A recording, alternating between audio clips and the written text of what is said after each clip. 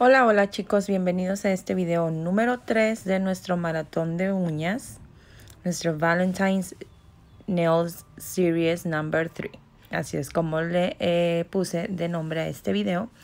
Como pueden ver en pantalla, ya estoy aplicando el primer, puesto que ya preparé las uñas, pegué los tips en estileto naturales y este es el diseño que voy a estar realizándole a mi modelo. Ella me escogió este diseño muy sencillo, pero muy bonito algo diferente a lo que les había estado compartiendo. Y bueno, voy a trabajar con este acrílico MH Nails de tono capuchino. Y bueno, lo que voy a hacer es que lo voy a aplicar únicamente en la sección de la uña natural, difuminándolo hacia borde libre. Y mil disculpas por las tomas. Traté de rescatar lo más posible de este video, por, puesto como pueden ver en pantalla, en varias ocasiones asomo mi cabeza y la verdad la mayor parte del video estaba así, así que va a ser un video corto, pero pues ya los pasos de aplicación tengo otros videos donde ustedes pueden ver cómo lo hago si es que son nuevos por aquí. Y pues por ahí pueden checar el resto del contenido de mi canal. En la mayoría de los videos siempre les presento cómo aplico el acrílico. Y pues si eres nuevo, te invito a suscribirte y activar esa, esa campanita de notificación. Bueno, aquí miren, estoy aplicando o eh, dibujando unos corazones con gel negro.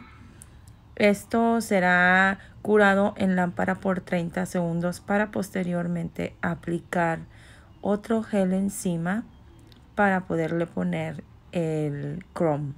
Cura en lámpara por 30 segundos y este es el gel de Gelixir que voy a estar aplicando como si estuviera dibujando los corazones nuevamente.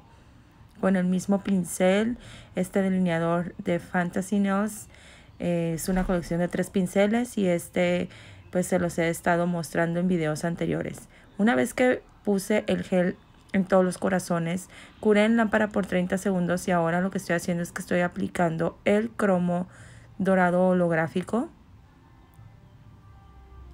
Sacudí con, con eh, una brochita el resto del cromo y ahora voy a aplicar el mismo gel de elixir en el resto de las uñas.